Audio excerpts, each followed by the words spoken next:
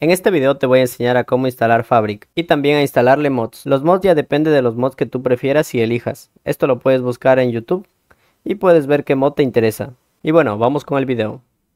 Primero que nada buscaremos Fabric.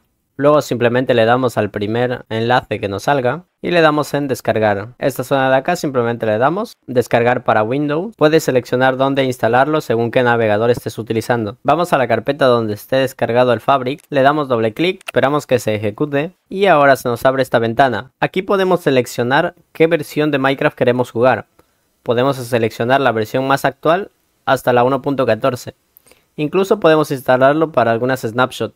Simplemente le damos a instalar y le damos en aceptar. Luego entramos a nuestro launcher que tengamos y en los perfiles debe haber una versión creada con Fabric 1.20.5 o la versión que tú escojas. Simplemente le damos a jugar y listo, ya tenemos instalado el Fabric. Ahora te voy a enseñar a instalar algunos mods. Ahora en el navegador buscaremos cualquier mod de Fabric, como por ejemplo Sodium. Siempre intentaremos poner el nombre del mod Fabric y la versión que queremos jugar y simplemente le damos a buscar. Y aquí casi siempre tenemos que entrar en la primera opción. Y en estas páginas buscaremos la versión que queremos. Casi siempre la versión más actual es la primera. Acá podemos filtrar algunos mods, en qué versión queremos. Y simplemente le damos a la versión que buscamos. Yo quiero la versión para la 1.20.5. Le voy a dar a descargar.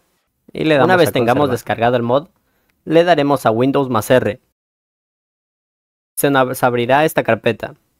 Simplemente abrimos roamic.minecraft y aquí crearemos una carpeta llamada mods. Y si ya la tenemos puesta, pues simplemente la abriremos. Entramos en esta carpeta y aquí es donde moveremos el mod que acabamos de instalar. Y listo, ahora simplemente abrimos el Minecraft en el Fabric. Y yo ya tengo instalado el mod Sodium. Esto lo podemos comprobar yendo a configuración.